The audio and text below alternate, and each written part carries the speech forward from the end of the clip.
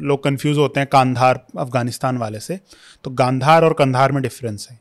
जो ancient India का गंधार है वो है आपका रीजन वेस्टर्न पंजाब पाकिस्तान का। उसकी जो कैपिटल थी वो थी तक्षशिला आज का टैक्सिला जो है। रावलपिंडी जो स्टेट है सॉरी हाँ। सिटी है उसके बगल में ही है वो था पांचाल का।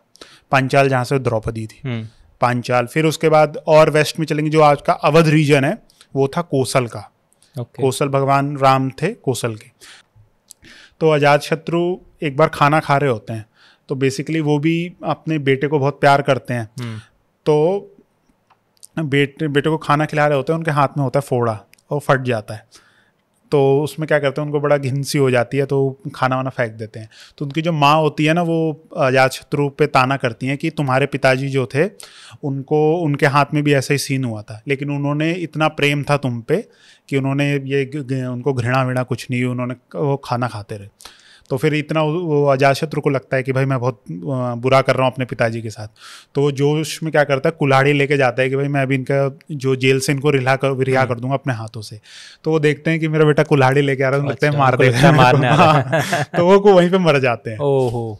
हम पर्शिया के बारे में इतना इसलिए जानते हैं क्योंकि ग्रीक्स ने उनके बारे में लिखा था। साइरस द ग्रेट के बारे में बोलते हैं कि जो फ़र्स्ट एक्सपेडिशन लेड करी थी उन्होंने वो इतनी बुरी तरह से फेल हुई थी कि दो या तीन लोग ही वापस लौटे थे। मतलब उनको इंडिया में रेजिस्टेंस मिला था कि सबसे ज़्यादा प्रॉफिटेबल कॉलोनी या सबसे ज़्यादा प्रॉफिटेबल रीजन जहाँ से टैक्सेस आते हैं वो इंडिया ही रहा है हमेशा थ्रू आउट अब वैसे आप देखेंगे मतलब कि पुराने समय में एग्रीकल्चरल लैंड जितने ज़्यादा होंगे उतने ज़्यादा रिसोर्स होंगे किसी कंट्री में। और भारत में तो था ही इतना ज़्यादा। रिसोर्स रिच तो रहा ही था। अगर इंस्टेड ऑफ़ इस्लामिक इन्वेजन्स जो हुए हैं over the centuries in India Xerxes ने ही अपना पूरा एक्सपैंड कर दिया होता territory throughout India India की क्या पिक्चर होती? हम्म, एक तरह से तो था ही हाँ क्योंकि अलग अलग लेकिन एक अम, एक सर्टेन मोनोथीस्टिक नेचर भी था जोरेस्ट्रियन एम्पायर का तो वो भी हमको मतलब देखना चाहिए लेकिन मतलब वही है कि कहना बहुत मुश्किल है। ग्रीक सोर्सेज में ये आता है ना कि जैसे जब हार गया है पोरस अब जब पहली मीटिंग होती है लड़ाई के बाद एलेक्जेंडर और पोरस में तो एलेक्जेंडर पोरस से पूछता है कि मैं मतलब कैसे ट्रीट करूँ तुम्हें? तो पोरस रिप्लाई करता है कि जैसे एक राजा दूसरे राजा को करना चाहिए। तो उससे बड़ा इम्प्रेस हो जाता होता है एलेक्जेंडर जैसे जो दिल्ली सल्तनत थी हाँ। एक स्कॉलर है विलियम डिग्बी नाम है उनका साइमन डिग्बी हम्म, उन्होंने एक बुक लिखी है तो उस पर उनका मेजर आर्ग्यूमेंट है कि दिल्ली सल्तनत जो थी वो उसकी मिलिट्री सुपीरियोरिटी का मेन रीजन ये था कि इसने जो हॉर्स ट्रेड रूट्स थे जिससे हॉर्सेस की सप्लाई होती थी उस पर इनकी मोनोपोली थी। अच्छा। तो उसके कारण क्या थे? जितने घोड़े आते थे वो इनके लिए ही आते थे। और बाकी जो इंडियन किंगडम्स थी पैदल लड़ते थे? नहीं वो मतलब आपके पास कम जैसे जो ये विजयनगर एम्पायर हैं उनके घोड़े आते थे वो सी रूट के थ्रू आते थे। और सी रूट में मार्को पोलो जो है जब ये आया था तो वो बताता है कि भाई इतनी बुरी मतलब आप भाई सी रूट के थ्रू आ रहे हैं उस टाइम पे जो तो आते आते आधे खत्म हो जाते खत्म हो जाते थे। फिर यहाँ पे क्या था कि उनकी जो डाइट होती थी जो ट्रेडर्स होते थे पर्शियन ट्रेडर्स वो बताते नहीं थे इनकी डाइट वाइट क्या होती थी। तो अच्छा। इनको जो घोड़े खिलाए ये खाना खिलाते थे वो ऐसा खिलाते थे कि घोड़े दो साल में मर जाते थे। हम्म। जयवर्धन भाई क्या हाल है? बढ़िया भैया थैंक यू और कैसा चल रहा है सब? सब अच्छा चल रहा है। पीएचडी अच्छी चल रही है? हम्म। कहाँ पहुँची पीएचडी पीएचडी अभी मतलब प्राइमरी सोर्सेज लगभग लगभग ख़त्म होने वाले हैं तो एनालिसिस की स्टेज शुरू होने वाली है तो मतलब फाइनली राइट करना शुरू करूँगा मैं एक दो महीने में। अच्छा। हम्म। और मतलब पीएचडी यूजुअली अभी आपका तीन साल का ड्यूरेशन रहता है नहीं? हाँ मिनिमम तीन साल रहता है मैक्सिमम आप पाँच तक कर सकते हैं। पाँच तो अभी तुम्हारा यही टारगेट है by the end of this year या नहीं नेक्स्ट ईयर के एंड तक कोशिश करूँगा सबमिट करने की। उसमें कुछ अनट्रांसलेटेड टेक्स्ट्स हैं संस्कृत के तो अब उसमें अगर ज़्यादा टाइम लगता है तो फिर एक्सटेंड करनी पड़ सकती है नहीं तो। ओके okay, और अ, ये पीएचडी आप जो कर रहे हो तो आपकी क्या स्पेशलाइजेशन है मिडीवल इंडिया राइट नहीं मेरी है आप कह सकते हो वैसे तो एंशंट इंडियन हिस्ट्री के यूनिट में हूँ मैं और बेसिकली आप अर्ली मिडीवल पीरियड तक जाता है मेरा। अर्ली मिडिल अर्ली मिडीवल हाँ।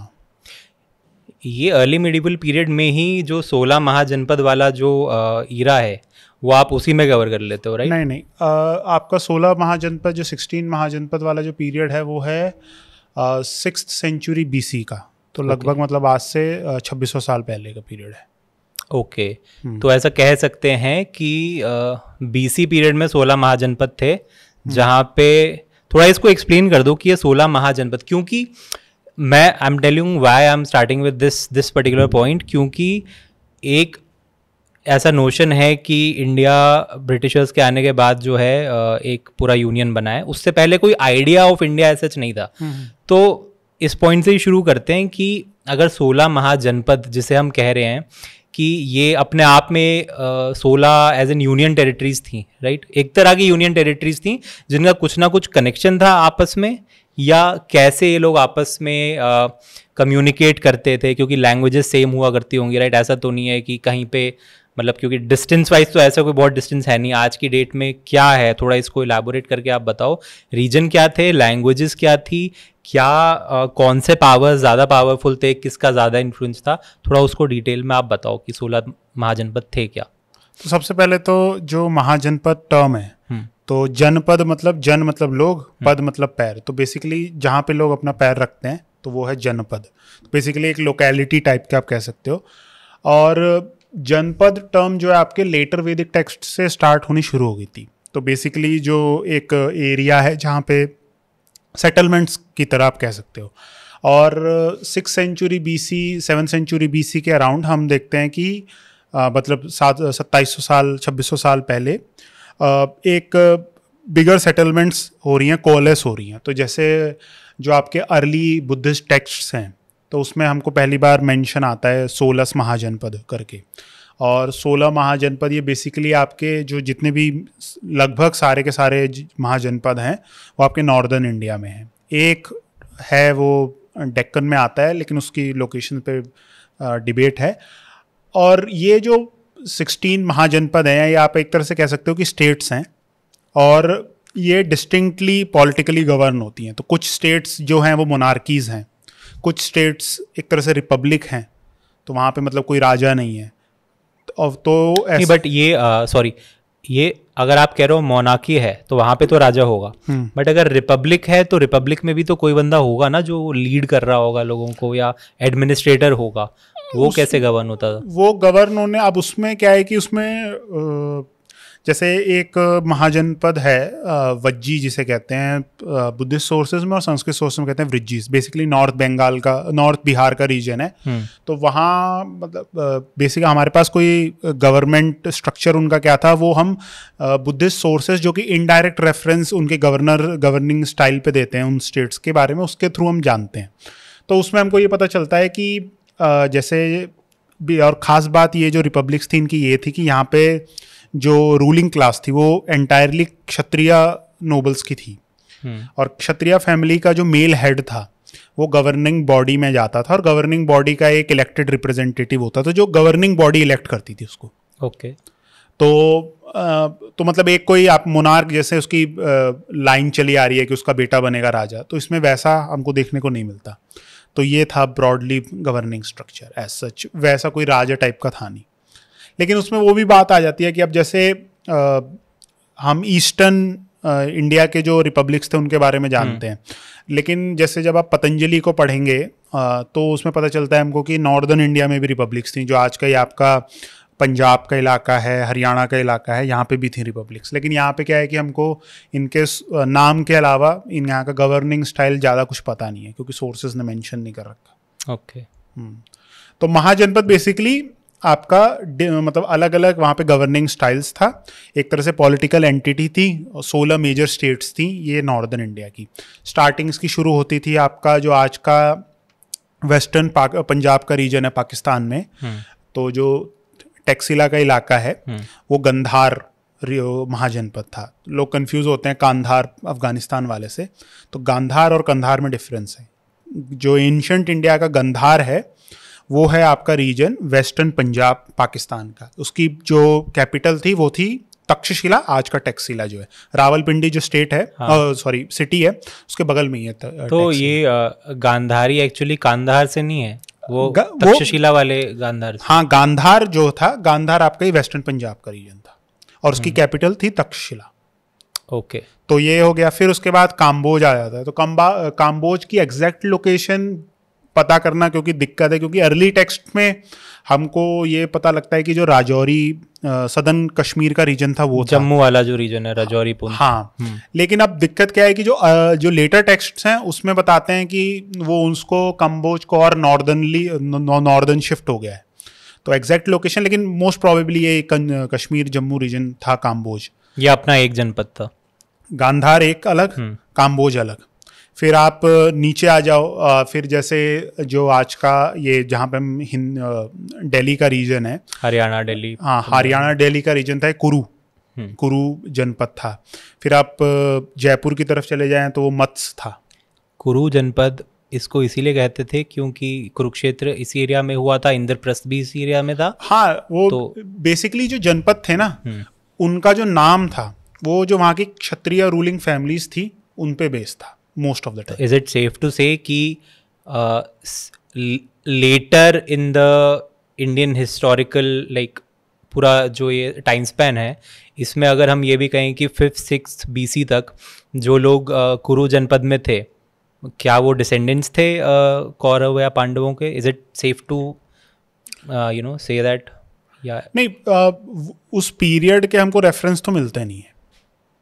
जैसे कुरु ने अगर अपने बारे में कुछ लिखा होगा तो उसके बारे में हमको कुछ पता है नहीं। और जो बुद्धिस्ट सोर्सेज भी मेंशन जो कुरु के बारे में मेंशन करते हैं उनके राजाओं के बारे में मेंशन करते हैं तो कोई डायरेक्टली मेंशन नहीं करता कि वो महाभारत से लिंक था। हम्म, लेकिन मोस्ट प्रोबेबली मेरे हिसाब से कि भाई उसी रीजन में महाभारत जो बैटल थी वो टुक प्लेस हुई मतलब वहाँ पे हुआ था। तो डिसेंडेंट्स क्या पता हो।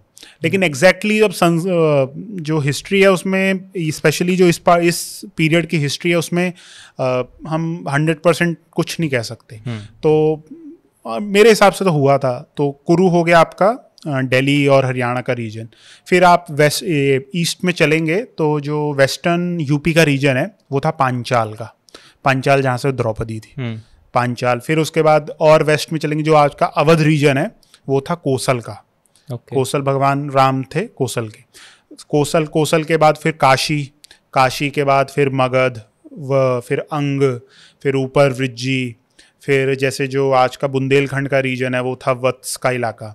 फिर चेडी मल्ल ऐसे ऐसे सोलह महाजनपद थे कुल। ओके सबसे जो सदन था वो अशमाक कहते हैं। अशमाक गोदावरी के आसपास था लेकिन कुछ सोर्सेज में हमको बताया जाता है कि वो नॉर्थ वेस्टर्न में था नॉर्थ वेस्टर्न इंडिया में बेसिकली अफ़गानिस्तान के पास। तो भी कन्फ्यूज़न है अशमाक के लेके।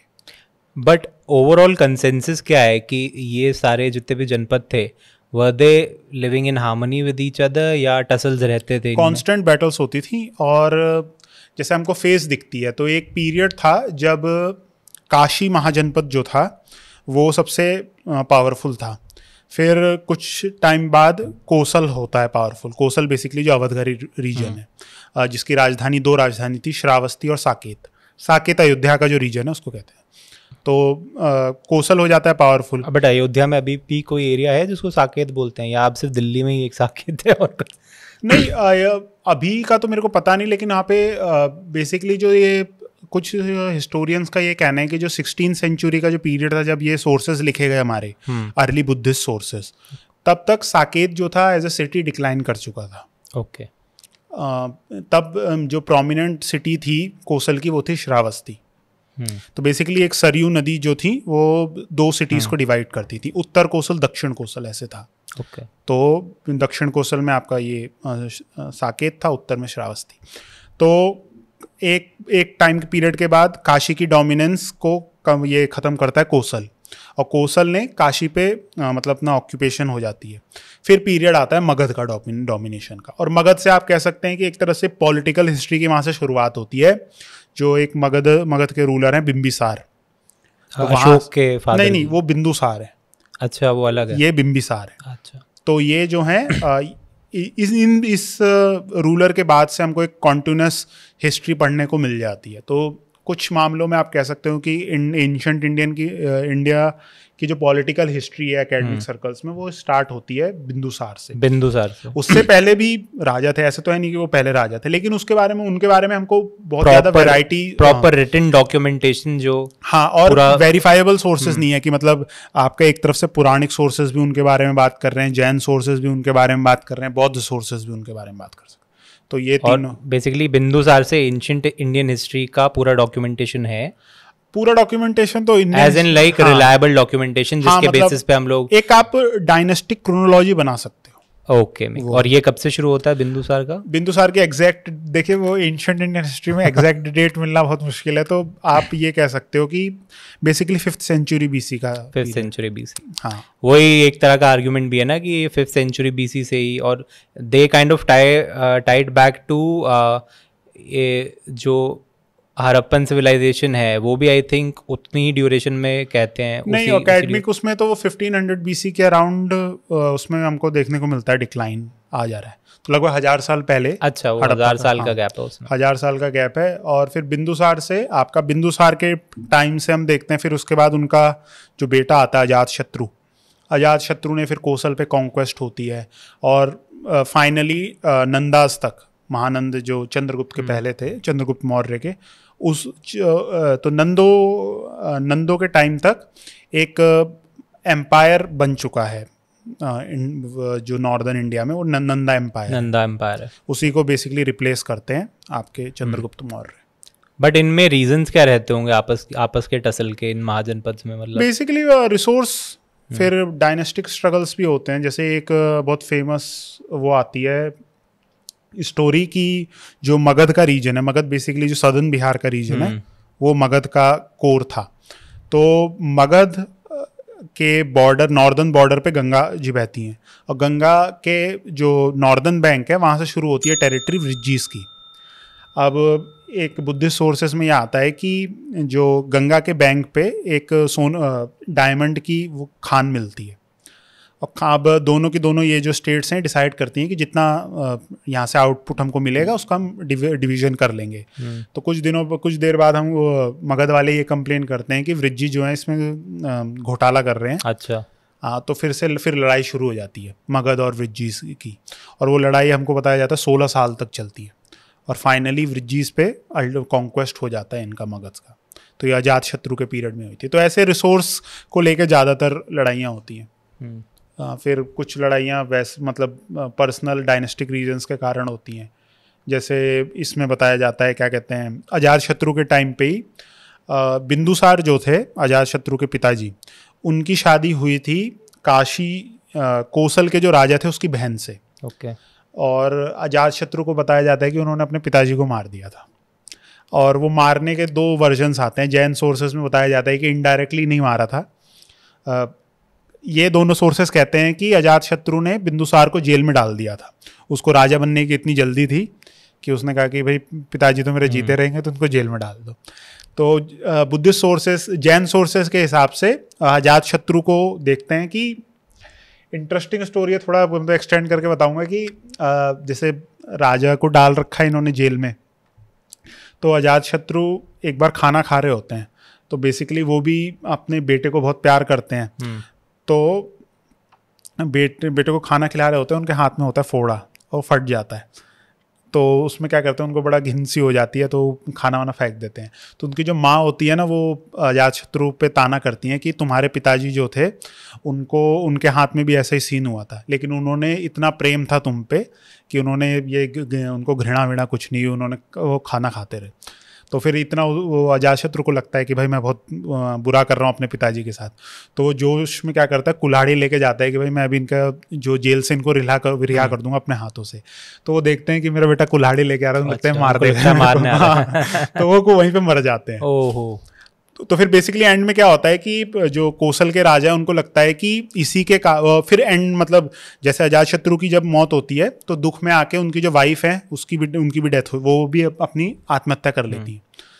तो जो कौशल के राजा होते हैं जिनकी बहन बहन मर गई है उनकी तो उनको लगता है कि अजात शत्रु के कारण ही मेरी बहन मरी है तो फिर वो लड़ाई शुरू कर देते हैं। तो ये मतलब यही ऐसे कारण थे लड़ाई होने के आपस में लड़ाई वड़ाई चल मतलब या तो रिसोर्सेज था रीजन या अपना आपसी रंजिश हाँ, वगैरह के कारण ये लोग आपस में कुछ ऐसा कुछ और बाहर से एक्सटर्नल फोर्सेज का आना तो उस टाइम पे कोई स्कोप था नहीं उन चीज़ों का। नहीं इस पीरियड में ही वो जक्स ये जो पर्शियन इन्वेजन होता है वो इस पीरियड में ही होता है। ओके okay, तो ये क्या टाइम पीरियड है जहाँ पे जर्सीज आना शुरू करता है ये फिफ्थ सेंचुरी बीसी Fifth और century के आसपास। सेंचुरी बीसी का पीरियड है। जो फ़र्स्ट रूलर थे जिन्होंने मतलब अटैक करा था वो थे साइरस द ग्रेट कुरूश जिनको पर्शियन सोर्सेज में कहते हैं। ये जो पर्शियन एम्पायर है जो जर्सीज या जो साइरस से शुरू होता है हम्म, ये लोग कौन सा रिलीजन वर्दे जोरास्ट्रियंस हाँ जोरेस्ट्रियन जोरास्ट्रियंस थे। हम्म। ओके तो इनमें क्या ये तो मुझे ऐसा लग रहा है कि जोरास्ट्रियंस और जो इंडियन वैदिक सिस्टम था उस टाइम काफ़ी ज़्यादा सिमिलैरिटीज हैं इनमें। आपको क्या लगता है? Is it fair to say कि सिमिलैरिटीज थी? स्टार्टिंग में थी सिमिलैरिटीज लेकिन सिक्स सेंचुरी तक आते आते मेजर डिफरेंसेस आ गए थे। डिफरेंसेस आ गए थे। What were the reasons as in like मतलब साइरस के आने तक हम्म। उसने अपने जोरास्ट्रियंस में ही काफ़ी ज़्यादा रिफॉर्म लाए चेंजेस लाए because they wanted to is it safe to say कि वो अपने आप को डिस्टिंग दिखाना चाहते थे फ्रॉम द वैदिक पीपल कहना मुश्किल है क्योंकि जैसे जो एंशंट इंडिया का केस है वही केस है साइरस द ग्रेट के साथ भी। हमको ज़्यादा सोर्सेज मिलते नहीं है। स्पेशली जो एंशंट पर्शिया के केस में हम पर्शिया के बारे में इतना इसलिए जानते हैं क्योंकि ग्रीक्स ने उनके बारे में लिखा था। अच्छा। उनकी जो अपनी खुद की लिखी हुई हिस्ट्री हमारे पास ज़्यादा है नहीं। उनके पास एक दो इंस्क्रिप्शंस हैं उस उसके थ्रू जानते हैं और ज़्यादातर ग्रीक्स के क्योंकि ग्रीक्स से उनका बहुत पुराना कॉन्फ्लिक्ट रहा था। तो उन्होंने ग्रीक्स के बारे में मेजर सोर्सेज हमारे वैसे उन्होंने क्या आप- उनका जो रिलीजियस वो सब था उसके बारे में ज़्यादा जानकारी हमको है नहीं। तो ये इसका आंसर दे पाना बहुत मुश्किल है। ओके तो बेसिकली ये अ, पारसी ही थे एक तरह से कहा हाँ सकता मतलब जोरेस्ट्रियन वो फॉलो करते थे। हम्म। और साइरस द ग्रेट के टाइम पे काबुल तक का जो रीजन था वो हो गया था कॉन्कर हम्म। और फिर डेरियस असली जो कॉन्क्वेस्ट हुई थी वो डेरियस के रेन में हुई थी जो साइरस का बेटा था। जो इंडिया पे जो कॉन्क्वेस्ट हुई थी हाँ उसने बेसिकली जो आपका ये गांधार तक का रीजन कॉन्कर कर लिया था। तक्षशिला वाला। हाँ जो इंडस का वेस्टर्न बैंक है वहाँ तक उसका कॉन्क्वेस्ट हो गया था। जक्सीस ने मेंटेन करा था उतना ही। But beyond that they never came हाँ तक्षशिला का जो पूरा रीजन है गंधार का वो करा नहीं था क्योंकि जब हमको पता लगता है कि जब एलेक्जेंडर आता है ना तो ये टैक्सिला वाला जो रीजन था आ, ये इस, इस यहाँ पे पर्शियंस नहीं थे यहाँ पे एक इंडियन रूलर था जिसका नाम आम्बी आम्बी जिसको कहते हैं। हम्म। ग्रीक सोर्सेज में उसको ऑम्फिस ऑम्फिस कहते हैं। ओके। बट ये इन लोगों को कोई रेजिस्टेंस नहीं मिली थी इंडिया? या उस टाइम पे कौन थे इंडियन बॉर्डर्स पे जो राजा थे जो इनको डिफेंड कर रहे थे जैसे इंटरेस्टिंगली हमको इंडियन सोर्सेज कुछ नहीं कहते मतलब पर्शियंस का मेंशन ही नहीं है इस- टाइम पे तो बिल्कुल भी। हमको पता चलता है साइरस द ग्रेट के बारे में बोलते हैं कि जो फ़र्स्ट एक्सपेडिशन लेड करी थी उन्होंने वो इतनी बुरी तरह से फेल हुई थी कि दो या तीन लोग ही वापस लौटे थे। मतलब उनको इंडिया में रेजिस्टेंस मिला था। हाँ अफ़गानिस्तान तक आते आते। हम्म। और सेकंड फिर आपका ये सेकंड में उन्होंने काबुल तक कॉन्कर कर पाए थे। बट ये रेजिस्टेंस किसने करी उसका कोई मेंशन नहीं है? हाँ लोकल रूलर्स ही होंगे लेकिन हमको राजा तक नहीं पता। आपके जैसे अब पोरस पोरस की बात होती है तो पोरस अगर ग्रीक सोर्सेज मेंशन ही नहीं करते तो हमको पता ही नहीं रहता कभी कोई पोरस था। बट ये भी तो कहते हैं कि इंडियन सोर्सेज में भी अलेक्जेंडर के बारे में कुछ मेंशन ही नहीं है। एक हाँ वही बात है एलेक्जेंडर के बारे में मैंशन ही ना पोरस के बारे में मेंशन है। एक है सिक्स सेंचुरी सिक्स नहीं सेवन सेंचुरी एडी का सोर्स है हर्षचरित हम्म। हर्षवर्धन आपने सुना होगा उसकी बायोग्राफी लिखी थी एक एक आदमी ने तो उसमें एक तरह से मेंशन आता है लेकिन वो इनडायरेक्ट रेफरेंस है और वो भी इन्वेजन को लेके नहीं है वो वो दूसरे सेंस में रेफरेंस आता है। तो एज सच तो हमारे इंडियन सोर्सेज इतना कुछ मेंशन नहीं करते तो किसने रेजिस्टेंस करी कौन रूलर्स थे कुछ नहीं पता हमको। ओके तो बेसिकली डारियस के टाइम पे तक्षशिला तक इन लोगों ने कॉन्कर कर लिया था? तक्षशिला तक कहना मतलब एग्जैक्ट कहना मुश्किल है लेकिन ये हमको पता है कि जैसे जो डेरियस की आप जो टूम्ब है ना उसमें उन्होंने उसने मेंशन उसने एक स्कल्पचर देखने को हमको मिलते हैं कि कौन कौन से रीजन्स में मतलब कौन कौन से रीजन में उसका कॉन्कर है। तो हर रीजन का एक पर्टिकुलर सैनिक है उसको डिपिक्ट कर रखा है। तो इंडिया के केस में दो हैं। एक है हिडुश रीजन का जो कि सिंध होगा। हम्म। शायद ये स्पेकुलेशन है। और एक है गैंड गंधार रीजन गेंडारा करके। हम्म। तो वो गंधार रीजन की बात हो रही है। ओके तो मतलब उस लेवल तक का एविडेंस है कि आ, ये मतलब इंडियन एविडेंस नहीं है ये सारे के सारे आपके नॉन इंडियन एविडेंस और डेरियस के बाद जक्सीज आता है? हाँ डेरियस के बाद जर्क्सिस आता है।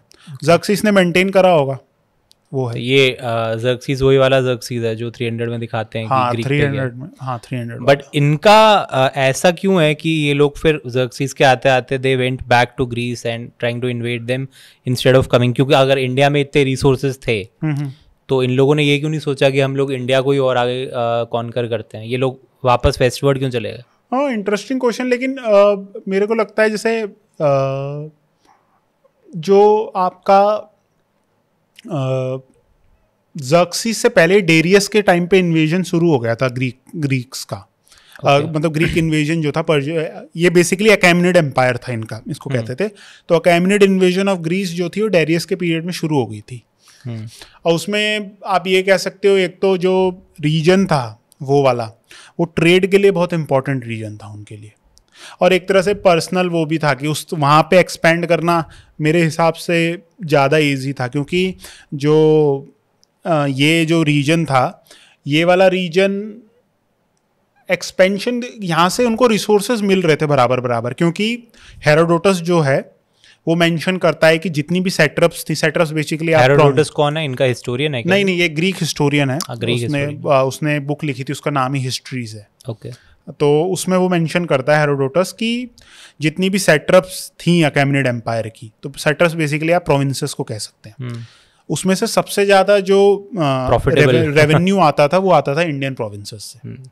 वो नाइन टैलेंट्स या कितना टैलेंट्स बताता है जो पता नहीं कितना होता है स्कॉलर्स ने कैलकुलेट कर रखा है लेकिन मतलब एक्सटेंसिव आता था। मतलब ये एग्जैजरेशन नहीं है कि कोई भी हिस्टोरियन किसी भी पार्ट ऑफ़ द वर्ल्ड से हो उन लोगों ने हर जगह ये अपने अकाउंट्स में मेंशन तो किया हुआ है कि सबसे ज़्यादा प्रॉफिटेबल कॉलोनी या सबसे ज़्यादा प्रॉफिटेबल रीजन जहाँ से टैक्सेस आते हैं वो इंडिया ही रहा है हमेशा थ्रू आउट अब वैसे आप देखेंगे मतलब कि पुराने समय में एग्रीकल्चरल लैंड जितने ज़्यादा होंगे उतने ज़्यादा रिसोर्स होंगे किसी कंट्री में। और भारत में तो था ही इतना ज़्यादा। रिसोर्स रिच तो रहा ही था। तो इसीलिए ये था। और वही फिर डेरियस के पीरियड में ग्रीक इन्वेजन शुरू हो गया था। जर्क्सिस ने बेसिकली एक्सटेंड करा था। और वो फिर पर्सनल रीजन भी होते हैं भाई कि उसके जो पिताजी नहीं कर पाए वो करके दिखाएगा। तो एक वो भी रहता है तो उसका ज़्यादा वो था मेरे हिसाब से कि वो वेस्टवर्ड्स गए। आना तो इस तरफ़ भी चाहिए था क्योंकि डेरियस के पीरियड में इस तरफ़ कॉन्क्वेस्ट हुई थी। क्योंकि डेरियस से पहले जो साइरस द ग्रेट था उसने बस काबुल वैली तक करा था। काबुल वैली के बाद जो सिंध का रीजन है और आपका जो पूरा का पूरा इंडस इंडस तक कॉन्क्वेस्ट सारी डेरियस के पीरियड में हुई है। इसमें एक चीज़ बड़ी इंटरेस्टिंग मेरे को लगती है कि लेट्स अज्यूम और ये अजम्पशन का गेम है सारा, इसमें स्पेकुलेट बिंदास तरीके से कर सकते हो, क्योंकि ऐसा हुआ ही नहीं तो तुम आराम से स्पेकुलेट कर सकते हो, जो तुम्हारी रीडिंग्स या पढ़ाई के अनुसार तुमको लगता है कि क्या हुआ होगा। अगर इंस्टेड ऑफ़ इस्लामिक इन्वेजन्स जो हुए हैं over the centuries in India Xerxes ने ही अपना पूरा एक्सपैंड कर दिया होता territory throughout India India की क्या पिक्चर होती? मान लो कि इस्लामिक इस्लामिक इन्वेजन ना हो करके ग्रीक ये सॉरी जो पर्शियन एम्पायर है यही पूरा एक्सपैंड कर जाता ऑल ओवर इंडिया तो इसके क्या रेपोकशंस होते? तुमको क्या लगता है? मतलब कल्चरली कुछ लगता है कुछ डिफरेंसेस होती? या प्रॉस्परस रह रहे होते लोग इंडिया में और कन्वर्जन्स नहीं होते? या what is your take in this hypothetical situation नहीं, एक तो जैसे जो दोनों कॉन्क्वेस्ट का गैप है, वो लगभग आपका डेढ़ हज़ार साल का गैप है। ओके। तो पर्शियन इन्वेजन आपका 400 बीसी 500 बीसी के अराउंड हो रहा है। और हम्म, अगर आप अर, अरब इन्वेजन सबसे अर्लीस्ट इन्वेजन था वो सेवन सेंचुरी एडी में हुआ है। तो लगभग 1100 साल का फ़र्क है। तो 1100 साल से उससे पहले आपके जैसे कुशांस थे सेंट्रल एशियन एग्जैक्टली मैं वही इसीलिए पूछ रहा हूँ क्योंकि बहुत से लोगों ने पहले भी कॉन्क्वेस्ट किए बट कल्चरली उतना इम्पैक्ट नहीं आया इंडिया पे वो एसिमिलेट ही हो जाते थे। तो एसिमिलेशन वाला जो फैक्टर है वो पर्शियंस में भी था? आ, मतलब उनकी वैसी आप जैसे जो हम्म, एक तरह से तो था ही हाँ क्योंकि अलग अलग लेकिन एक हम्म, एक सर्टेन मोनोथीस्टिक नेचर भी था जोरेस्ट्रियन एम्पायर का तो वो भी हमको मतलब देखना चाहिए। लेकिन ले, मतलब वही है कि कहना बहुत मुश्किल है। अगर जैसे कुशान जैसे या फिर उससे पहले जो शख्स सीथियंस आए थे उनका क्या था प्योरली जैसा जो इंडियन केस था कि भाई अलग अलग तुम्हारे देवी देवता हैं वैसे उनका भी था। वो ईरानियन डीटीज़ में मानते थे। हम्म। तो उनके लिए कोई मतलब ज़्यादा डिफरेंस नहीं था कि भाई यहाँ पे वो सोचते जैसे जब ग्रीक्स आते हैं तो वो क्या करते हैं कि अब जो मथुरा रीजन के आसपास को बताते हैं कि यहाँ पे हिरैक्लीस की वर्शिप बहुत ज़्यादा होती थी। अच्छा। अब हिरैक्लीस भगवान कृष्ण के बारे में बोल रहे हैं वो लेकिन उनको हिरैक्लिस जो है वो भग, मतलब भगवान कृष्ण हिरैक्लिस से सिमिलर लगते हैं। तो इसलिए उन्होंने हिरैक्लिस बता दिया। हिरैक्लिस हर्क्यूलिस है या? हाँ हिरैक्लिस हर्क्यूलिस अच्छा। तो वही है तो बेसिकली यही मतलब कि उनको सिमिलैरिटीज दिखती हैं तो आप अडॉप्ट और मतलब असिमिलेट करना ज़्यादा आसान है। वहीं पे एक मोनिस्टिस मोनोथिस्टिक फ़ेज़ के साथ वो करना मुश्किल है। हम्म। तो वो तो रहता ही बट क्योंकि इन लोगों ने ऑलरेडी अगर गांधार तक काफ़ी देर तक अपना क्या कहते हैं उसे वर्चस्व जमा रखा था तो उसमें कुछ रेमिनेंट्स तो दिखते होंगे ना इनके कल्चर के एसिमिलेशन हाँ रेमिनेंट्स हैं। पहला रेमिनेंट तो ये है कि जो खरोष्ठी स्क्रिप्ट है। हम्म। खरोष्ठी स्क्रिप्ट बेसिकली जो एंशंट इंडिया में जो ये अभी आपका पीरियड है अशोक सो सो सबसे जो अर्ली इंस्क्रिप्शन है हमारे पास वो है एंशंट इंडिया में। ये आ, मैं इसमें हड़प्पन स्क्रिप्ट नहीं इंक्लूड कर रहा हूँ। तो एंशंट इंडिया में सबसे अर्लीस्ट इंस्क्रिप्शन हैं अशोक की। Okay okay. और अशोक की इंस्क्रिप्शन दो स्क्रिप्ट में हैं। एक है ब्राह्मी और एक है खरोष्ठी। खरोष्ठी इंस्क्रिप्शन जो हैं वो सारी की सारी आपके नॉर्थ वेस्ट में पाई जाती हैं जो पाकिस्तान का रीजन है और अफ़गानिस्तान के रीजन है।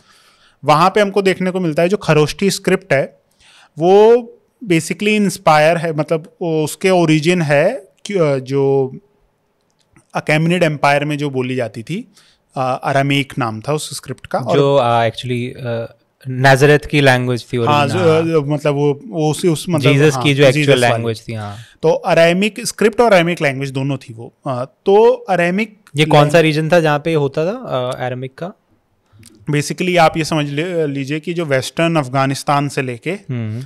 इधर पूरा का पूरा आप टर्की तक चले जाइए। टर्की इसराइल वाला टर्की टर्की इसराइल जॉर्डन ये पूरा का पूरा पैलेस्टाइन एंशियंट पैलेस्टाइन का रीजन सब इस पूरे रीजन में अरेमिक बोली जाती थी?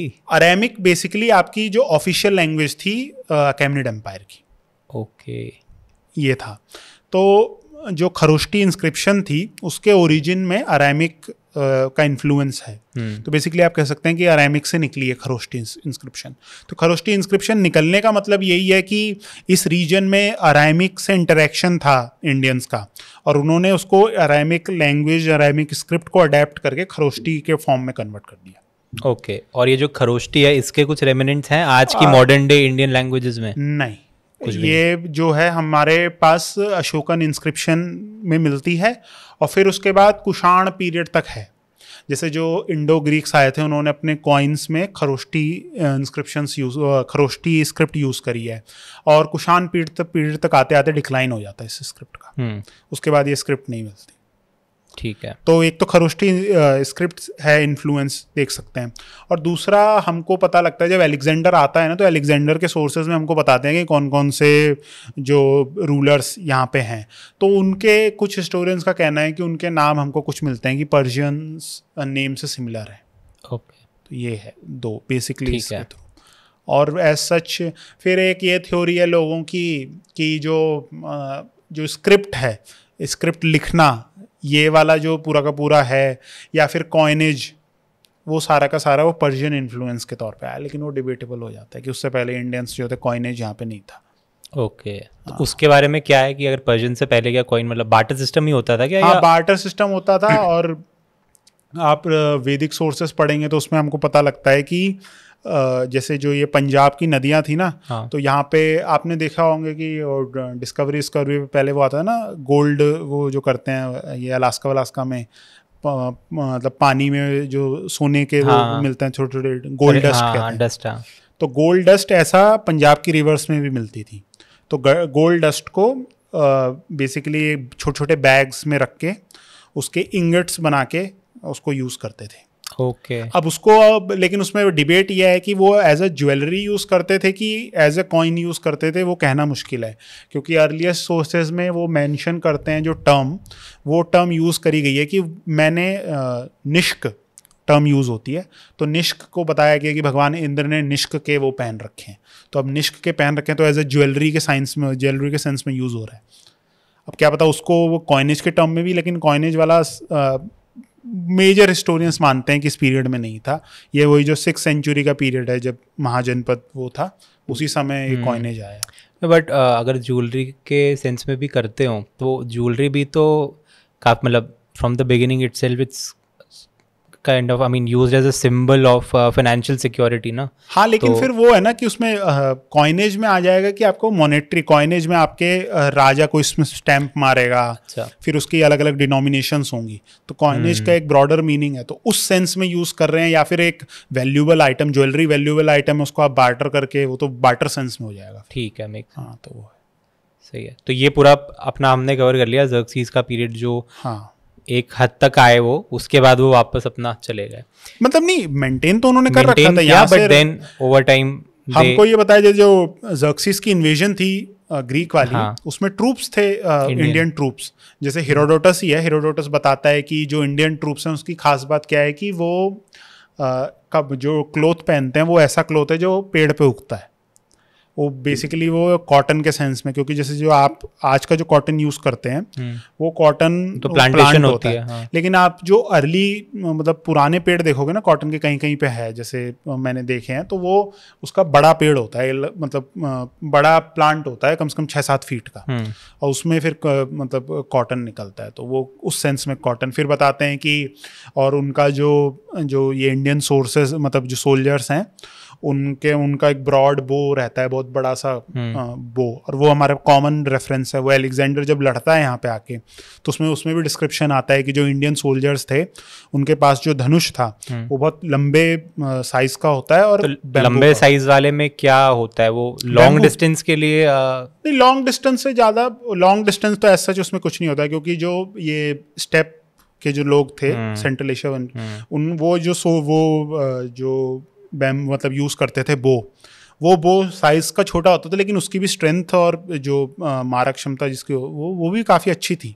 लेकिन वो बेसिकली इंडियंस ने जो उनके एनवायरनमेंट थे उसमें अडॉप्ट करा था। यहाँ पे क्या है ह्यूमिडिटी इतनी ज़्यादा होती है कि जो कंपोजिट बो है वो बहुत सारी चीज़ों से बनता है। उसमें एनिमल्स की हड्डी इस्तेमाल होती है उनके तो उसमें क्या है कि वो अगर वो ह्यूमिड इलाके में रहेगा ना तो उसकी स्ट्रेंथ ख़त्म हो जाती है। हम्म, हमारे यहाँ पे क्या है कि मानसून सीज़न में इतनी बारिश पड़ रही है तो आपके बैम्बू जब अच्छा काम कर रहा है तो आप बैम्बू यूज़ करोगे।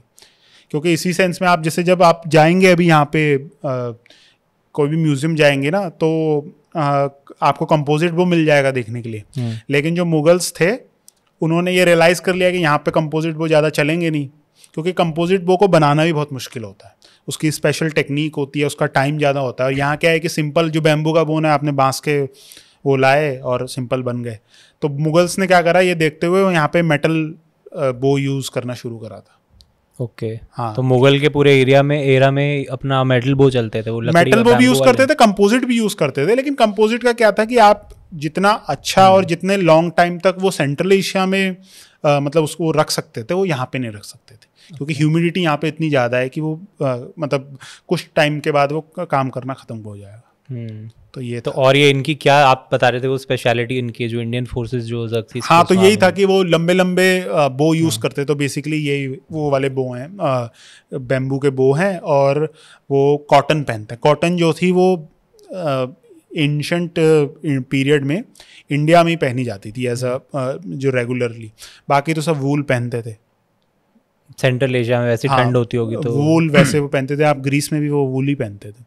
ओके तो कॉटन ये स्पेशलिटी यहाँ की थी। तो बेसिकली ये कह सकते हैं कि आर्चर्स थे बेसिकली इंडिया के आर्चर्स नहीं आर्चर्स नहीं लेकिन ये चीज़ें डिस्टिंक्ट थी। ओके बाकी और मतलब सोड और वो सब भी यूज़ करते थे लेकिन ये चीज़ ऐसी थी कि जो बाकी सब यूज़ नहीं करते थे। बड़े लंबे लंबे बो जो होते थे वो हम्म। इनके यूज़ होते थे। मतलब ये स्पेशल थे ये ऐसे वाले बो ठीक है। अब हम अलेक्जेंडर की बात कर रहे थे बहुत बारी रेफरेंस आया है। तो अलेक्जेंडर का एरा ऑब्वियसली पर्शियन एम्पायर के वेस्टवर्ड जाने के बाद फिर अलेक्जेंडर का कॉन्क्वेस्ट ऑफ़ इंडिया आता है राइट हम्म। इसमें मेरे को एक चीज़ पूछनी थी। I don't know if you seen that video एक क्रिस्टोफर डोयल करके हैं राइटर काफ़ी पुरानी वीडियो है टेट टॉक की वीडियो है आई थिंक उनकी he is essentially giving a talk on Mahabharata and he's trying to kind of give you clues and evidences of uh, Mahabharata actually being an historical fact rather than mythology right तो मतलब उसका perspective वो था उसने उस पर book वगैरह लिखी थी। But he began that talk very interestingly by quoting like mentioning Alexander की we don't find any archaeological remains at all like archaeological evidence so to speak of Alexander's existence तो कुछ वेटेज है उस चीज़ में? मेरे को तो नहीं लगता क्योंकि कॉइन से लेके आपके इतने सारे सोर्सेज है हमारे पास उस पीरियड के उस पीरियड के बाद के और अलग अलग लैंग्वेजेस में हैं।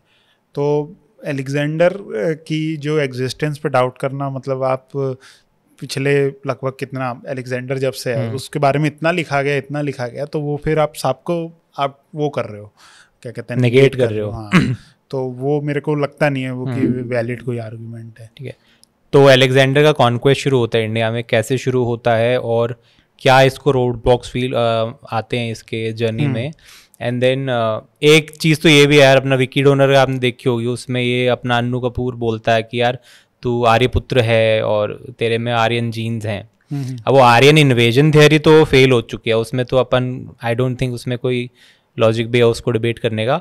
बट आज के वेस्टर्न पंजाब के एरिया में मतलब is it okay to say quoting that only कि अच्छा यहाँ पे एलेक्जेंडर जब वापस चला गया था तो अपने सोल्जर्स वगैरह छोड़ गया था तो वो कुछ फैक्चुअल है या ऐसी हवाई बातें हैं सोल्जर तो छोड़े थे लेकिन अब हम्म। कितना जेनेटिक इम्पैक्ट पड़ा है पॉपुलेशन में वो तो अब जब स्टडी हम्म। होगी तब पता चलेगा लेकिन ये तो है कि सोल्जर छोड़ के गया था क्योंकि अ, उसके मतलब आपका एलेक्जेंडर की रिट्रीट हुई है मतलब छः महीने करीब रहा था वो इंडिया के जो ये जो लोकेशन दिया सिर्फ़ छह महीने का ये पूरा कॉन्क्वेस्ट था? हाँ छः महीने में। उस टाइम पे तो आर्मी असेंबल करने में ही साल साल डेढ़ डेढ़ साल लग जाता था तो ये छह नहीं तो महीने में आर्मी उसकी असेंबल ही थी। बेसिकली उसका कॉन्क्वेस्ट शुरू हुआ है आपका ग्रीस से।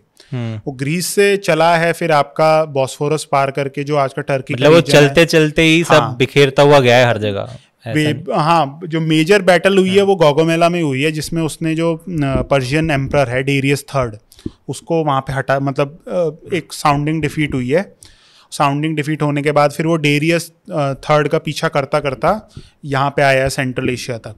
सेंट्रल एशिया में फिर क्या होता है कि उसको एक इंडियन किंग जो कि ग्रीक सोर्सेज में बताया गया है ऑम्फिस करके है।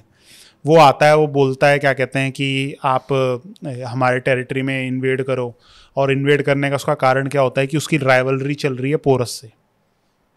तो वो इनवाइट करता है तो वो फिर एलेक्जेंडर फिर इधर आता है। तो जो ये पूरा का पीरियड है छः महीने का पीरियड है। छः महीने तक छः महीने में उसने पहुँच गया था यहाँ पे ब्यास तक। ब्यास तक पहुँच गया था। हाँ ब्यास। और फिर वहाँ कौन सी क्या उसमें कैसी रेजिस्टेंस उसको फेस हुई है किसने करी है? मेजर तो जैसे हमको बताया गया है कि सबसे पहले तो जो ये ऑम्फिस या आम्भी था इसका ये रीजन था तक्षशिला इस समय इसकी राजधानी थी। हम्म। तो इसके जो वेस्टर्न बाउंड्री थी वो थी Indus Ambhi was a Hindu king अब हिंदू मतलब उसके रिलीजन के बारे में तो कुछ नहीं कहा लेकिन इंडियन किंग था। इंडियन किंग ऑब्वियसली जो Indian- नहीं था। हाँ नहीं, पर्शियन क्योंकि मैं इसलिए पूछ रहा हूँ क्योंकि पर्शियंस तब तक जा चुके थे। हाँ तो वापस अगर वहाँ पे तक्षशिला में किसी का किंगडम होगा तो मोस्ट लाइकली वो एक इंडियन किंग ही होगा। हाँ और दूसरी चीज़ क्या है ना कि पर्शियंस की खास बात क्या थी कि जो इनके प्रोविंसेस में जो रूलर्स थे ये अपने रूलर्स नहीं वहाँ पे करते। जैसे मान लीजिए आपके कोई किंगडम है इन्होंने कॉन्कर करी तो आपको कहेंगे कि भाई आप रूल करो हमको हमको एक हम पहले ये मान लो कि आप हम हम आपके ओवरलॉर्ड हैं और हमको ट्रिब्यूट भेजा करो। हम्म। तो इनका ये था मतलब उस मामले में बहुत सेंट्रलाइज रूल नहीं था।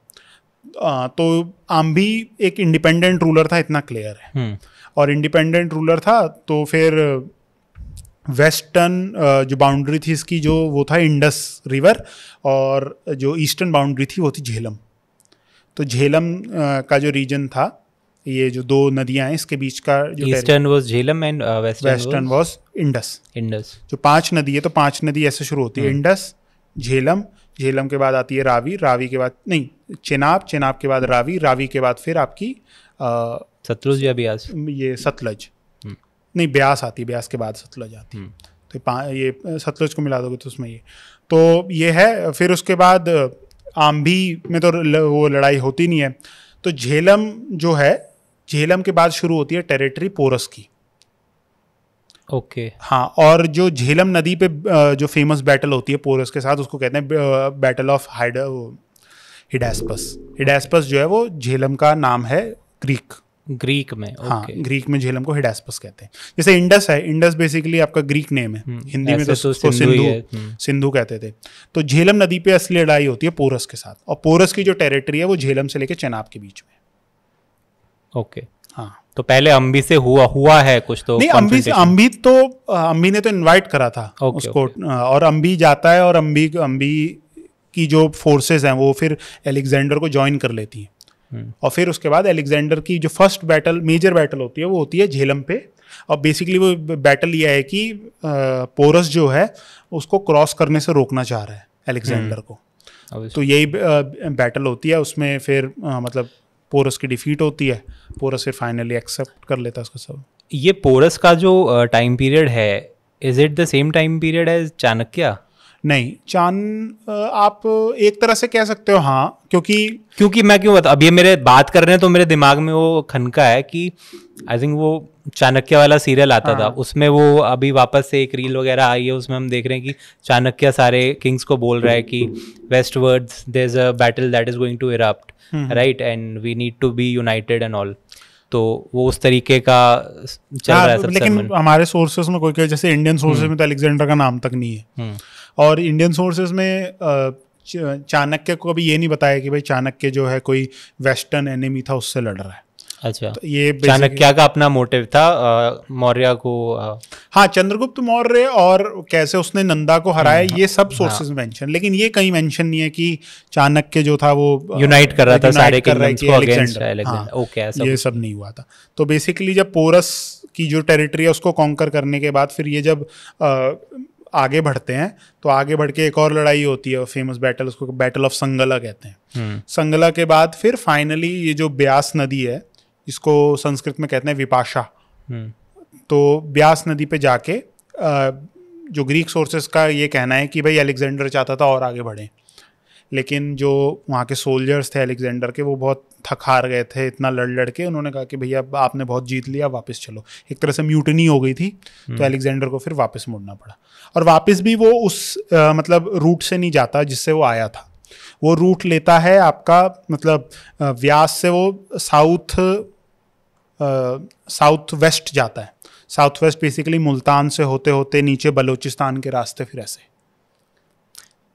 तो कंक्लूजन कैसे निकलेगा इस चीज़ का कि मतलब उसने पोरस को तो हराया हम्म। वो क्लियर है उसमें कोई this no other argument around that कि नहीं शायद नहीं हराया या खुद हारा था हम्म, हम्म। पोरस को उसने हराया था दैट मच इज़ देखिए अगर आप ये बोल रहे हैं कि पोरस को हराया था हम्म। तो पोरस को अगर पहली बात तो कोई दूसरा सोर्स बताएँ जिसमें लिख रखा हो कि पोरस को हराया था वो नहीं है हमारे पास। फिर दूसरा हम ये देखते हैं कि जो पोरस की टेरिटरी है पोरस की टेरिटरी वेस्ट में झेलम है और राइट में चिनाब है उसके बीच है। लेकिन एलेक्जेंडर क्या करता है? चिनाब के आगे रावी रावी क्रॉस करके ब्यास ब्यास के बैंक पे जाके वो मुड़ता है। तो पोरस की टेरिटरी तो बहुत पीछे रहेगी ना आपकी। तो अगर आप अगर मान लीजिए पोरस हरा देता तो एलेक्जेंडर का तो होना चाहिए था कि झेलम से मुड़ जाता वापस।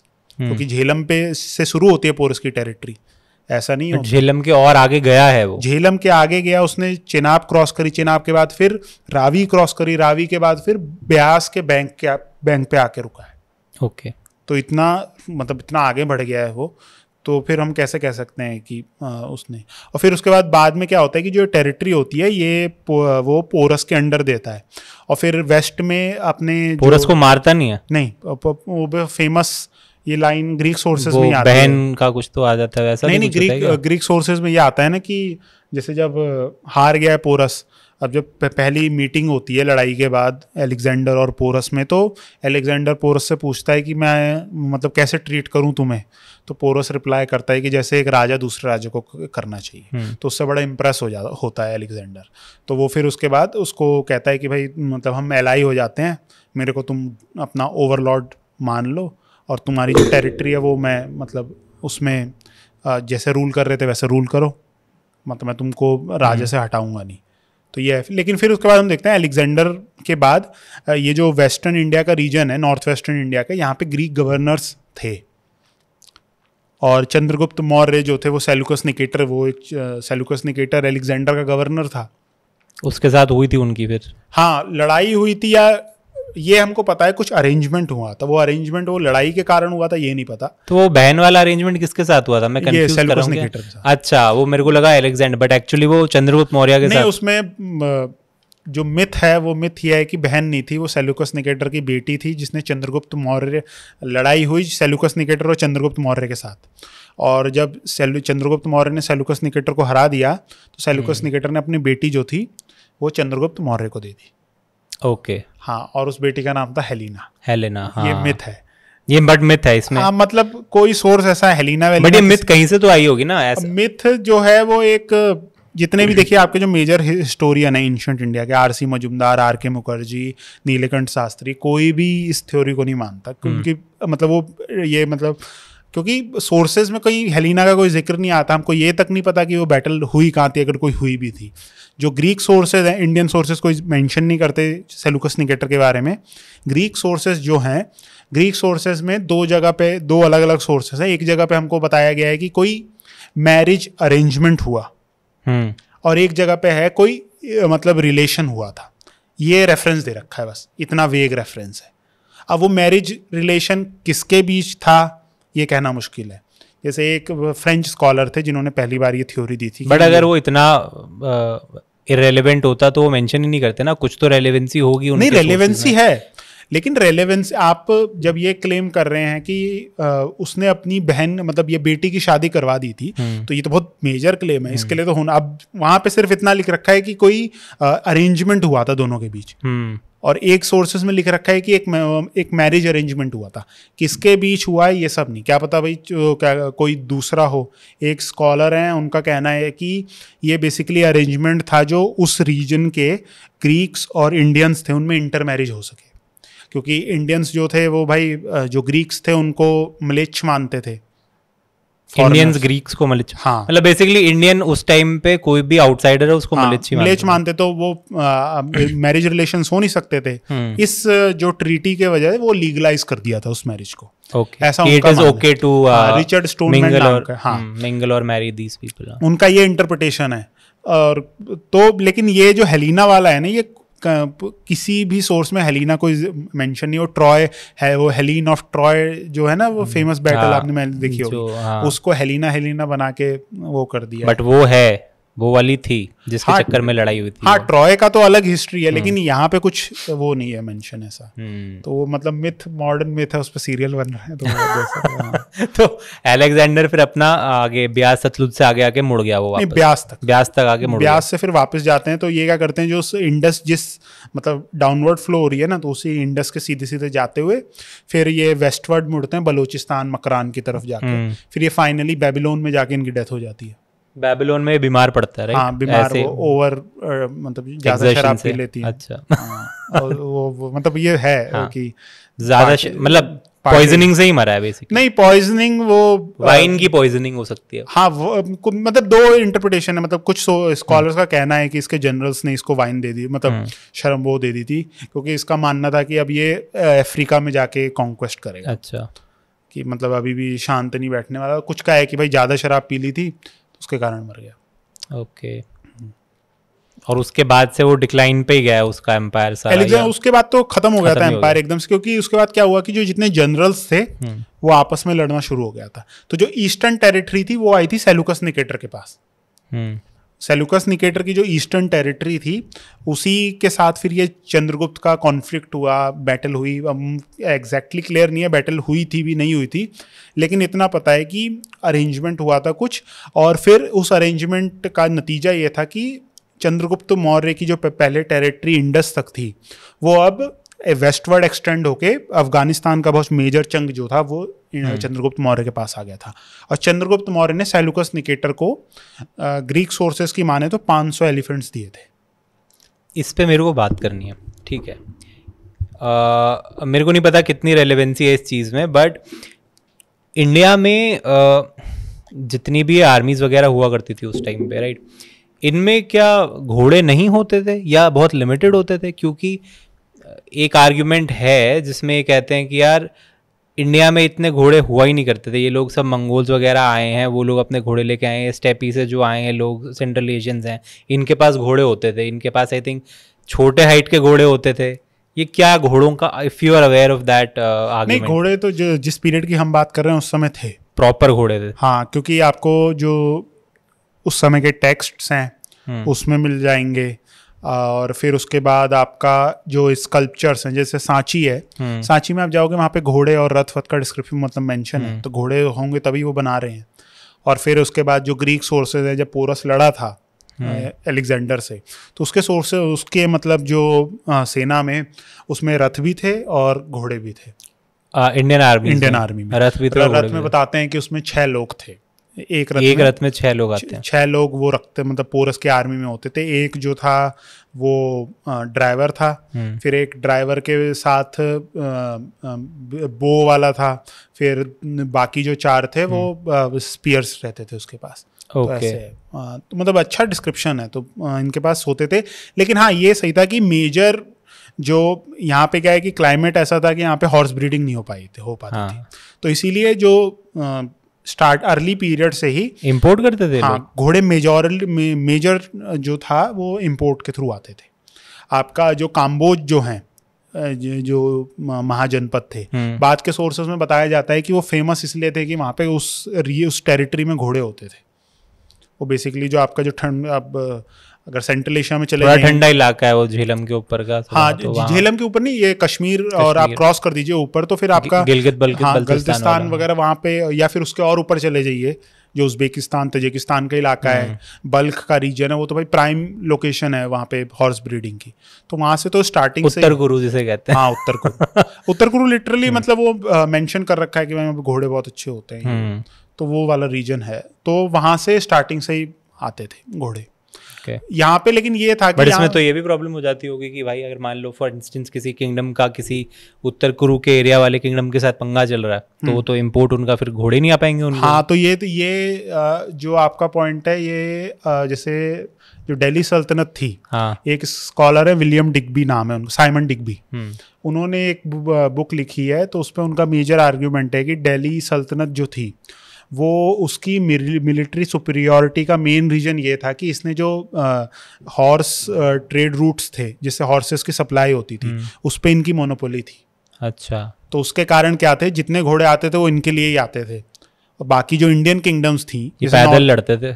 नहीं मर... मतलब आपके पास कम जैसे जो ये विजयनगर एम्पायर एम्पायर है हम्म। उनके घोड़े आते थे वो सी रूट के थ्रू आते थे। और सी रूट में मार्को पोलो जो है जब ये आया था तो वो बताता है कि भाई इतनी बुरी मतलब आप भाई सी रूट के थ्रू आ रहे हैं उस टाइम पे जो तो आते आते आधे खत्म हो जाते खत्म हो जाते थे। फिर यहाँ पे क्या था कि उनकी जो डाइट होती थी जो ट्रेडर्स होते थे पर्शियन ट्रेडर्स वो बताते नहीं थे इनकी डाइट वाइट क्या होती थी। तो अच्छा। तो इनको जो घोड़े खिलाए ये खाना खिलाते थे वो ऐसा खिलाते थे कि घोड़े दो साल में मर जाते थे। हम्म। तो कॉन्स्टेंटली आपको मंगाने पड़ रहे हैं और बहुत कॉस्टली है तो आपका एक मेजर जो रिसोर्स ड्रेनेज का वो है कारण घोड़े होना मतलब घोड़े। और वो इसीलिए था कि ये जो दिल्ली सल्तनत के जो रूलर्स थे इन्होंने जो मेजर रूट्स था जहाँ से सप्लाई होती थी उसको ब्लॉक कर रखा था। तो वैसा वहाँ पे भी होता होगा। लेकिन उस समय क्या था कोई इतनी मेजर बड़ी किंगडम नहीं थी जिसने ब्लॉक कर रखा था। छोटी छोटी किंगडम्स थी तो उसमें क्या है कि एक तरफ़ से रूट नहीं आ रहा तो दूसरी तरफ़ से आ जाती। और दूसरा क्या है कि फिर आपको ब्लॉक करने से आप ही का नुकसान होगा क्योंकि अगर आप अलाउ कर रहे हो तो वहाँ से आप टैक्स जो ट्रेडर्स आ रहे हैं आपकी टेरिटरी से जा रहे हैं उनसे आप वो हिंदी में कहते हैं चुंगी हम्म जो पोल टैक्स जिसे कहते हैं पोल टैक्स tax, हाँ। तो उसको आप ले सकते हो तो आप ही का फ़ायदा होगा अगर आप हम्म। अलाउ करोगे तो आप अलाउ नहीं करोगे तो आपके बगल की जो छोटी किंगडम वो अलाउ करेगी वो करेगी तो उसके बाद टैक्स ज़्यादा हो जाएगा तो वो उस मतलब बैलेंस हम्म। मतलब ये तो ठीक है कि मतलब आप कह रहे हो कि उत्तर कुरु वाले एरिया से एक तो हम लोग बहुत एम्फेसिस देंगे उत्तर कुरु वाले उसको लॉजिक को। हम्म। वहाँ से तो चलो आ गया ठीक है। बट ये सदर्न साइड से मंगाना तो बहुत चैलेंजिंग था। ये आते कैसे होंगे इतने सारे घोड़े सी रूट के थ्रू मतलब बड़े बड़े जहाज़ वो जहाज़ कितने बड़े होते होंगे? एक लॉट में कितने घोड़े आप आते होंगे? हाँ नहीं वो तो है ही। अब आप पंद्रह बीस घोड़े पंद्रह बीस घोड़े कर करके ऐसे आ रहे हैं। और वो पर्टिकुलर पीरियड में ही आ सकते हैं। तो वो तो रहता ही है। लेकिन सस्टेनेबल मॉडल था नहीं बेसिकली इनका। सस्टेनेबल नहीं था और दूसरा क्या है कि बहुत महँगी घोड़े होते थे। हम्म। लेकिन उसमें वो भी दिक्कत था कि उस समय का जो लड़ाई का पूरा का पूरा फोकस था वो कैवलरी डोमिनेंट था। तो इसलिए ये अभी जो सिनौली में जो रथ मिला सिनौली में मिला ना हाँ, राखी सिनौली। में मिला है। हम्म। उसमें जो रथ मिला है उसका जो पूरा आपने देखा होगा आई एम श्योर पिक्चर्स वगैरह देखी होंगी। Whatever you read so far especially that you just mentioned कि ये रथ वगैरह भी हुआ करते थे पोरस वगैरह के उसमें कितना सिमिलैरिटी और आपके आपकी स्पेक्यूलेशन क्या है कि ये जो रथ मिला है ये किस टाइम पीरियड का होगा रफली अ, मतलब वही बोलते हैं 2000 बीसी के अराउंड का है जब मतलब हड़प मैच्योर हड़प्पन पीरियड एग्जिस्ट करता था। अ, अब उसमें क्या है कि दो बेसिक वो है आर्ग्यूमेंट्स या दो बेसिक थ्योरीज हैं। कुछ स्कॉलर्स का ये मानना है कि रथ नहीं मतलब जो घोड़े हैं वो घोड़े नहीं हैं वो हैं बैल। अच्छा। और कुछ का मानना है कि ये घोड़े हैं। उस पर डिपेंड करता है। अब घोड़े होने की वजह से क्या है? अगर घोड़े वो होंगे तो स्कॉलर्स का ये मानना है जो आर्यन माइग्रेशन थ्योरी को मानते हैं कि जो मेजर हॉर्सेस जो थे पहली बार इंट्रोड्यूस हुए थे एक सिग्निफिकेंट उसमें वो आर्यंस जब माइग्रेट मतलब इस रीजन में हाँ, माइग्रेट होना शुरू हुए तो वो साथ लेके आए थे। अब यहाँ पे अगर घोड़े होते हैं तो वो फिर थ्योरी जो है उसमें वो फेल हो हो जाएगा हाँ। नहीं फेल नहीं मतलब एक मेजर जो वो है उसमें प्रॉब्लम आ जाएगी। और अगर घोड़े नहीं हुए तो वो रिटेन मतलब एक वो मिलेगा। तो उस पर वो चल रहा है। अभी एक तो अच्छे आर्यन इन्वेजन को सपोर्ट करने वाले कह रहे हैं कि ये घोड़ों वाला ही रथ है बेसिकली नहीं वो कह रहे हैं कि बैल है यहाँ। ये अच्छा बैल ये घोड़ा बैल है नहीं है। अच्छा क्योंकि ये उससे हाँ, भी। आ, पीछे जाके अब उसमें दिक्कत क्या है ना कि अभी सनौली पे जो हुआ है सब कुछ अभी कोई एक एक्सटेंसिव पेपर आया नहीं एस आई ने को, कोई वो हुआ नहीं। But they are working on it हाँ वो वो वर्क कर रहे हैं उसमें जो कुछ डीएनए वीएनए भी शायद से मिला है कुछ पता नहीं है मेरे को लेकिन अभी वो चल रहा है काम तो जब आएगा तो उसमें देखेंगे। अब दूसरी दिक्कत क्या है कि अभी हमारे यहाँ पे इतने सारा जो रीजन है पूरा का पूरा आपका हरियाणा पंजाब है। अनटच्ड है। तो आगे चल के बहुत सारी चीज़ें ऐसी मिलेंगी जो आपको रिवाइज करनी पड़ेंगी हिस्ट्री जैसे मैं एग्ज़ाम्पल देता हूँ कि उन्नीस सौ बीस और उन्नीस से पहले अगर आप हिस्ट्री बुक्स पढ़ रहे होते तो उसमें हड़प्पा सिविलाइजेशन कोई हड़प्पन सिटी मोहनजोदड़ो कुछ था उसका कोई। मेंशन नहीं वो तो जस्ट डिस्कवरी के बाद उन्नीस सौ उन्नीस में पूरी की पूरी हिस्ट्री बदल गई आपकी हम्म। कि आपको पता चला कि अच्छा भाई यहाँ पे भी कोई सिविलाइजेशन थी ये तो। तो वैसे ही क्या पता आई थिंक वो डिस्कवरी होने के बाद इंडिपेंडेंस मूवमेंट को ज़्यादा पुश मिला होगा। हाँ। कि हाँ मतलब तुम जो बोलता आए हो वो सब बकवास है। हमारी अपनी भी हिस्ट्री है जो हाँ हमको ही नहीं बताती तो तुमको क्या बताओगी? उससे पहले जैसे जो अशोक के बारे में कोई नहीं जानता था चंद्रगुप्त के बारे में पता नहीं था सेंड्रोकोटस चंद्रगुप्त। पाटलिपुत्र लोग भूल गए थे कि पाटलिपुत्र कोई सिटी हुआ करती थी इतनी मेजर। ब्राह्मी खरोष्ठी पढ़नी भूल गए थे लोग। हम्म। तो वो सब तो आ, मतलब ये सब जब आ, आपके ब्रिटिशर्स आए तो उसके बाद उन्होंने ही ये सब हम हमको जानने को मिला उनके थ्रू। तो वैसे ही आगे चल के अब भाई हिस्ट्री अब जितना हम पढ़ रहे हैं ज़रूरी नहीं है वो पचास साल में बहुत सारे चेंजेस हो सकते हैं उसमें। जैसे अब आप हम जैसे बात कर रहे थे कि इंडियन सोर्सेस कुछ कहते ही नहीं है कि अलेक्जेंडर आया क्या पता कोई किसी लाइब्रेरी में या कोई मैनिस्क्रिप्ट ऐसी हो जिसमें ये सब चीज़ें मैंशन कर रखी हो। हाँ। तो अब वो जब मिलेगी तो बहुत सारी चीज़ें उसमें बदल जाएँगी क्योंकि अभी क्या है कि हम स्पेकुलेट कर रहे हैं और स्पेकुलेट भी कर रहे हैं बहुत माइन्यू वो बहुत माइनर एविडेंस है हमारे पास उसके थ्रू बट जितने जितना भी एविडेंस इस पूरे मिडीवल इंडिया को या एंशंट इंडिया का जो जितना भी हिस्ट्री है जितना एविडेंस रिटर्न एविडेंस है इस चीज़ को लेके वो सब तो डिस्कवर हो चुका होगा ना ऐसा तो नहीं है कि अभी भी नहीं मिल नहीं मिला ऐसा भी कोई है। हाँ अब जे, अब जैसे आप उन जो अर्थशास्त्र है हम्म, वो 1909 में हमको मिली है।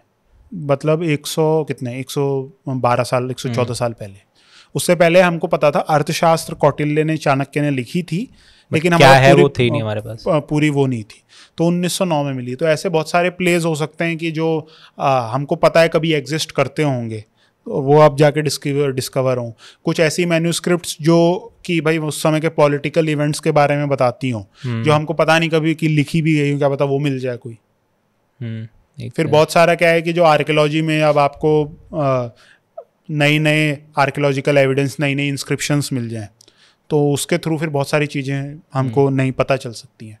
तो इंडियन हिस्ट्री तो क्या है कि एंशंट इंडियन हिस्ट्री खासकर तो उसमें बहुत गैप्स हैं और वो गैप्स वो धीरे धीरे भरेंगे और उसमें क्या है बहुत सारे फिर हमारी इंडियन एंशंट इंडियन हिस्ट्री की जो अंडरस्टैंडिंग है वो बदलेगी। हम्म, ये तो पक्का है। तो अभी जो हम कह रहे हैं ज़रूरी नहीं है वो पचास साल बाद भी वो ट्रू बदल सकती है। एक इसी में if you are talking about all the conquest that have come from west words और नॉर्थ वाला एक पार्ट है जिसमें हम मंगोल्स के कॉन्क्वेस्ट की बात करते हैं।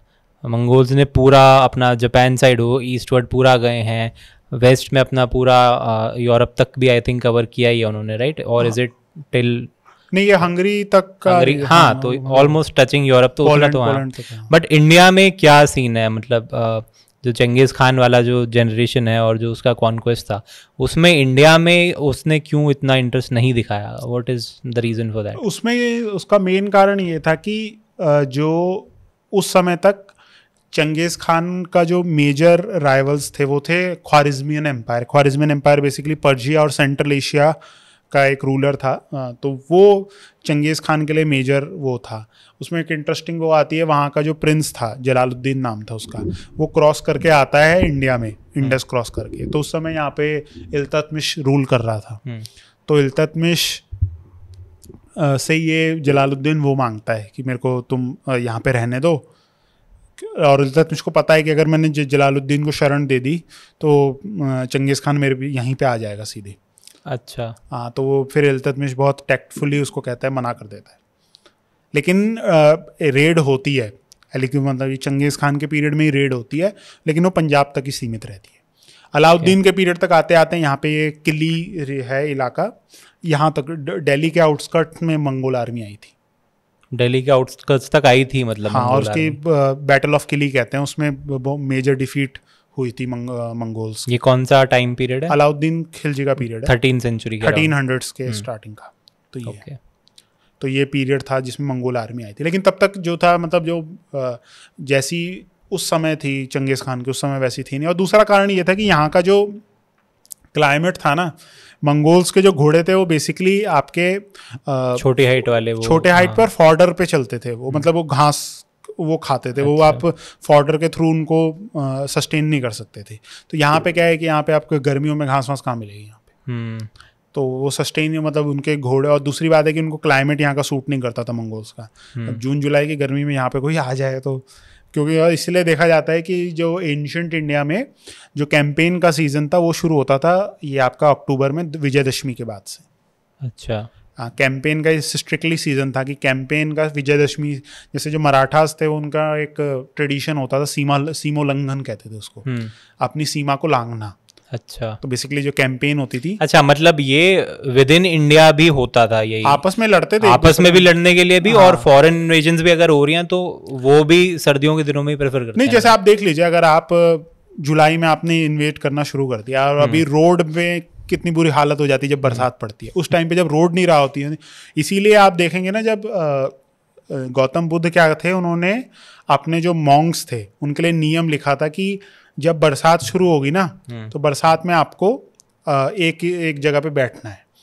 बरसात में इतनी बरसात होती है कि आप रूट्स बचे ही नहीं रहते तो कहाँ पे आप ट्रैवल कर और अब उस टाइम पे तो बहुत ही ज़्यादा बरसात हाँ हाँ वस्सा वस्सा करके टर्म है उसके लिए कि वो तीन महीने का जो पीरियड है जहाँ पे आप वहीं पे बैठे। वहीं बैठ लेकिन और वैसे उनके लिए था कि तीन दिन से कहीं ज़्यादा रुकना नहीं है मॉन्ग्स के लिए। हम्म, लेकिन ये जो वर्षा ऋतु का पीरियड था वो उसके लिए एक एक्सेप्शन था कि तीन जगह तीन महीने जहाँ पे हो वहाँ पे हो। तो इसीलिए जो ये कैंपेन का पीरियड था स्टार्ट होता था आपका ये दशहरे से और एंड होता था होली तक। तो ये प्राइम सीज़न है आपका मतलब ठंड हो रखी है मार्च करो अच्छे से। इसीलिए जब आप मेजर बैटल्स देखोगे वो इसी पीरियड में हुई है सारी की सारी। ठंड के सीज़न में। हाँ जैसे आपका ये थर्ड बैटल ऑफ़ पानीपत ठंड में हुई थी चौदह जनवरी के और सॉरी ये जो सॉल्स्टिस का टाइम होता है। आ, अब्दाली वाली। अब्दाली वाली तेरह चौदह जनवरी को हुई थी। तो वही है हर जगह। ठीक है। हम्म।